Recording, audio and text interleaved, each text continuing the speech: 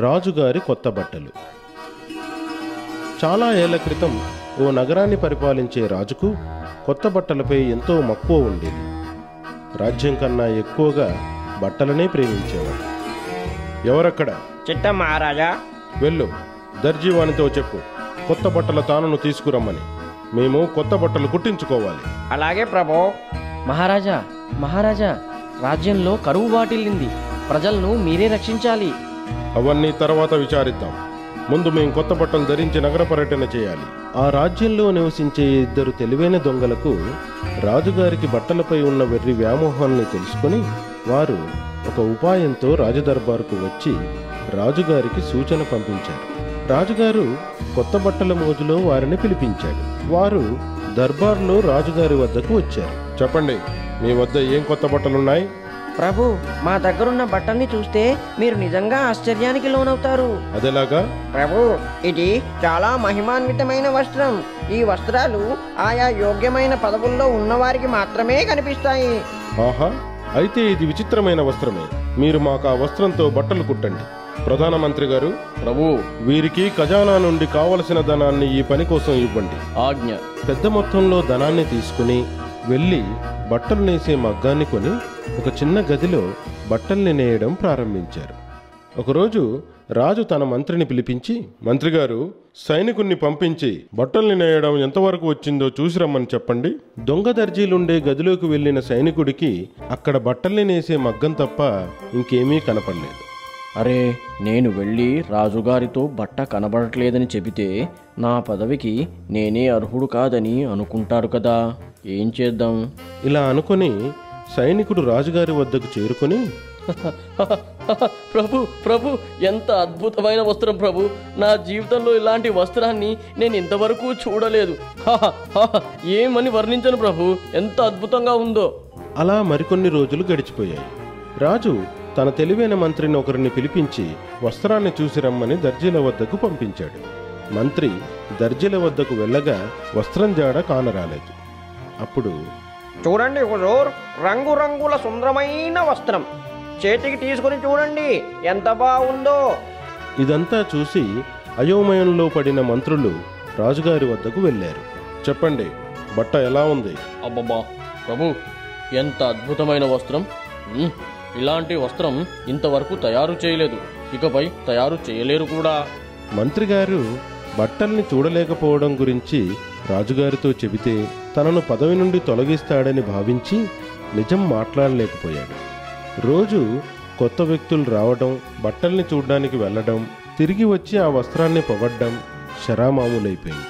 అప్పుడు రాజుగారు నేస్తున్న బట్టల్ని చూడాలని ఎంతో ఆతృతగా ఉన్నారు. రాజుగారు దర్జీలుండే గదికి వస్తున్నారని తెలిసి రాజుగారిని ఆహ్వానించారు. రాజుగారు వర్ధిల్లాలి.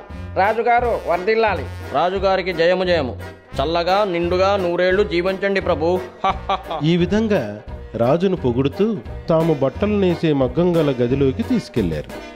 రాజుగారు వచ్చి చూడగా బట్టలు నేసే మగ్గం తప్ప అతనికి బట్ట కనబడలేదు. రాజు తన వెంట వచ్చిన మంత్రుల వైపు ఆందోళనతో చూశాడు.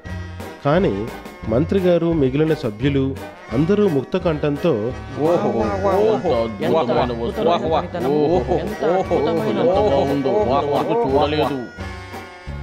ఇదెంత సిగ్గుమాలిన విషయం?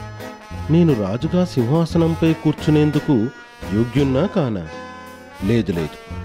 నేను అందరితో కలిసి వంత పాడతాను. మీరంతా నిజమే చెబుతున్నారు. ఇంత సుందరమైన వస్త్రాన్ని ఇంతకు ముందు నేనెక్కడా చూడలేదు. ఇదంతా చూస్తున్న దొంగలు సంతోషపడిపోయారు. తమ పథకం ఫలించిందని మురిసిపోయి ప్రభు ప్రభు మీరు వేసుకునేందుకు బట్టల్ని రేపటిలోగా కుట్టి తయారు చేసి ఇచ్చేస్తాం. అవునా? ఇంత తొందరగా నాకు బట్టలు కూడా కుట్టగలరా? ప్రభు మీ వద్ద మాలాంటి దర్జీ ఉండి ఉండడు. మాలాగా నేర్పుగా ఇంకెవ్వరూ వస్త్రాల్ని నేయలేరు. మనం ఈ కమీజును రాజ్యమంతా చూపిద్దాం. హుజూర్ మీరు ఈ కొత్త బట్టలను వేసుకుని రాజ్యమంతా ఎందుకు పర్యటించకూడదు? మంత్రి గారు ప్రభు రేపు మేము ఈ కొత్త బట్టలు వేసుకుని రాజ్య పర్యటన చేయవలసిందే. అలాగే. చాటింపు వేయించు. ప్రజలందరూ మమ్మల్ని ఆ రోజు చూడవచ్చని. ఇద్దరు దొంగలు గదిలో కొవ్వొత్తులు వెలిగించి రాత్రంతా మేల్కొని దుస్తుల్ని కుట్టినట్లు నటిస్తూ గడిపారు.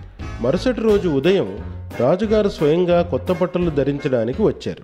దర్జీ దొంగలిద్దరూ ఎంతో వినయంగా లేని బట్టల్ని తీసుకున్నట్లు నటిస్తూ మహారాజు గారిని బట్టలు ధరింపజేసే గదికి తీసుకువెళ్ళారు ప్రభు మీరు కొత్త బట్టల్ని వేసుకుంటే ఎంత సుందరంగా కనబడతారో. మనసులో రాజుగారి మూర్ఖత్వానికి నవ్వుకుంటూ వారిద్దరూ ఎంతో తెలివిగా దర్జీల వలె వారు రాజుగారికి బట్టల్ని తొడుగుతున్నట్లుగా నటిస్తూ ఇక్కడ గుండీలు పెట్టుకోండి ప్రభు లేదంటే నేను పెడతాను. ప్రభు మీరిక్కడ బల్లపై నిల్చొని అద్దంలో చూసుకోండి. మీ కొత్త బట్టలు ఎంత బాగున్నాయో. దొంగలు రాజుగారికి కొత్త బట్టల్ని తొడిగారు. రాజుగారు అద్దంలో స్వయంగా తన ప్రతిబింబాన్ని చూసుకున్నాడు. అప్పుడు అరే నేను నగ్నంగా ఉన్నానే. మరి వీళ్ళేమో నేను కొత్త వస్త్రాలు ధరించానంటున్నారు. ఇదెంత పిచ్చి పనిలా ఉంది? ప్రభు కొత్త బట్టలు ఎలాగున్నాయి? ఆహా మీది గొప్ప పనితనం. నిస్సందేహంగా బాగున్నాయి రాజుగారు బయటకు వచ్చి నగర పర్యటన ప్రారంభించారు. అతను నగర వీధుల గుండా పర్యటిస్తుండగా వీధులకు ఇరువైపులా ప్రజలు అతన్ని చూడ్డానికి బారులు తీరు నిల్చున్నారు. రాజును చూసిన ప్రజలు నిర్ఘాంతపోయారు. రాజుగారు అర్ధనగ్నంగా బట్టలు లేకుండా పర్యటన ఎందుకు చేస్తున్నాడో ఎవ్వరికీ అర్థం కాలేదు. ప్రజలెవ్వరూ ముందుకెళ్ళి రాజుకు ఈ సత్యాన్ని తెలిపేందుకు సాహసించలేదు. రాజు ఆ విధంగా నగర వీధుల గుండా ముందుకు సాగుతుండగా ఒక చిన్న పాప రాజును గమనించి అతని వద్దకు వెళ్ళి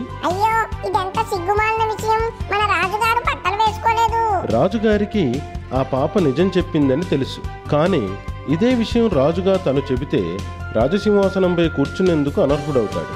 అందువల్ల రాజు మౌనంగా ముందుకు సాగిపోయాడు. చూడు చూడు. రాజు అతని మంత్రులు నగర పర్యటనలో మునిగిపోయారు. ఇదే మంచి సమయం. తొందరగా డబ్బులు మూట కట్టుకుని ఇక్కడి నుంచి బయలుదేరి వెళ్ళిపోదాం. అవునవును. పద పద. ఇద్దరూ డబ్బులు మూటగట్టుకొని నగరం విడిచి పారిపోయారు. మళ్ళీ ఏనాడు నగరానికి తిరిగి రాలేదు.